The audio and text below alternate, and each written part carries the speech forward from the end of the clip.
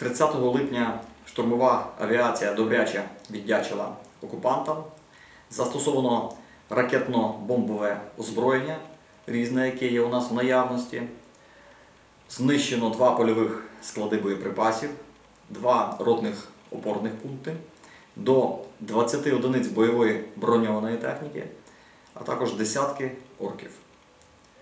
Винищувальна авіація та зенітні ракетні війська продовжують контролювати повітряний простір підконтрольний Україні. Сьогодні знищено чергову повітряну ціль, це безпілотний літальний апарат Орлан-10. А також була бойова робота наших зенітників по винищувачу Су-37, який, власне, і атакував наших штурмовиків. Завдяки цій бойовій роботі винищувач було відігнано, на жаль, не збито. Втім, це дозволило нашим штурмовикам завершити свою роботу і знищити окупантів.